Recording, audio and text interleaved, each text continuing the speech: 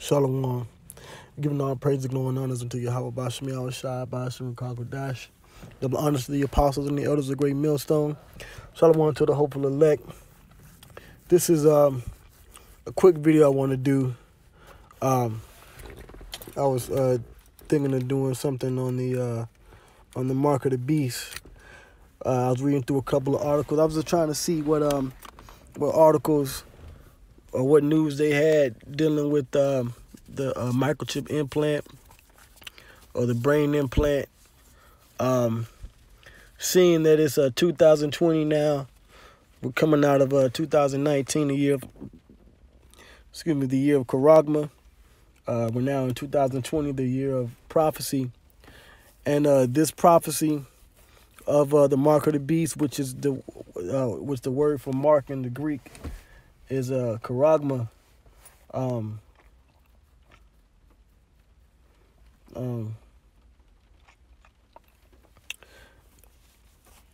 I just want to see what uh what you know what was uh the update. Um, and there's a couple of articles here. Um, I'm just going to go through the titles. Um, so you have this one here from uh, Collider Collider.com. It says Possessor Cast and Brandon Cronenberg talk brain implant, um, which is basically a, a show about um, about uh, these um, assassins that basically once they uh, have these um, brain implants and they use these brain implant microchips to go in different people's body and assassinate you, and that's the uh, premise of the show, but nonetheless, it's it's, it's dealing with uh, the uh, brain implant. Now, how how deep this uh, show possessor goes into it is yet to be seen. All right, this is from uh, two hours ago. Uh, now you have this article here. Uh, the scientist who got a brain implant to cure his alcohol his alcoholism. Um, actually, I believe let's see, I believe he's actually died. All right, so this is from uh, 1 0. Uh, says the scientist who got a brain implant to cure his, his alcoholism. Uh, deep brain stimulation could help curb drug, uh, drug and alcohol addiction. This is from January 30th, 2020, the year prophecy. And so now it says here, uh, as far as the update, it says, according to a news report on February 4th, Plummer passed away suddenly. The cause of death has not been identified. So whether or not this is due to the brain implant, which my guess would be it was, um, or just you know, or, or just the after effects of the surgery. Uh, I mean, even here in the image, you can see how deep the implant gets into his brain. So I'm pretty sure this was the cause, but um, this is basically the um, the uh, the the technology that Esau is testing out. Um, and it's just a matter of time before they um, actually start to implant implant um, these people with different implants and microchips. You know, which is in the scriptures. You know, Revelation the 13th chapter. It goes all into it. You know, now you Israelites that can't see these things, then the Heavenly Father just isn't, you know, He's not dealing with you at all. All right?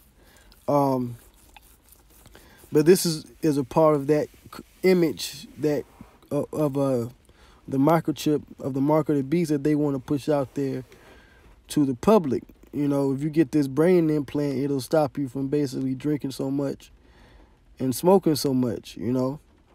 So they they pretty much tested it on this guy, and, and now he's passed away. So they got to go back to the drawing board, which now they got this guy Elon Musk. He's working on uh, the Neuralink project, which is his own um, take on the microchip implant for your brain, and we're we've yet to see what's to come of that. All right, so now I want to go back here um, how do neural implants work? IEEE Spectrum. This is from two weeks ago. Uh, claimed scientist gets brain surgery for alcohol addiction. Uh, from BBC News. This actually might be the same. Um, let's see here. Yeah, the same. Um, same guy here. All right. So so this was in the uh, mainstream news. All right. Um, let's see here. UPMC first in the U.S. to implant wireless retinal device. All right, same thing here. Uh, Becker's Hospital review. UPMC first in U.S. to implant patient with wireless retina device, which your retinas for your eyes. Uh, Dr. John Ngai, named director of NIH Brain Initiative. I, I believe, uh, now this from a week ago right? Uh, I believe uh, the Brain Initiative was something started by uh, Obama back when he was um, in office, all right? And they was working with uh, DARPA, okay? It says uh, a robot worm for your brain, medical robotics that can save your life. Uh, Croatian boy walks after successful brain implant at Dubrava Clinic. All right, so this is basically they, you know what they're doing I'm not going to go into all the articles, but this is um, just showing you that um, they are definitely testing these different brain implants on different uh, subjects and patients. And, um, you know, once they work out the kinks for a certain type of implant or whatever, uh, you know, they're going to make it mandatory soon. Okay. Um, because it could be one design that doesn't work out, but then it'll be another uh, in, um, implant design that actually works, you know. But um, it's soon to come, and Esau knows he has a short time to get his agenda of his so-called New World Order um, up and rolling, you know, and to make these things mandatory. He knows he has a short time, so it's only uh, a short while before you start to see a um, you know a uh, a jump to using these implants. Matter of fact, let's just go to the Bible. All right, let's go to uh, let's go to the blue letter, blue letter Bible, right?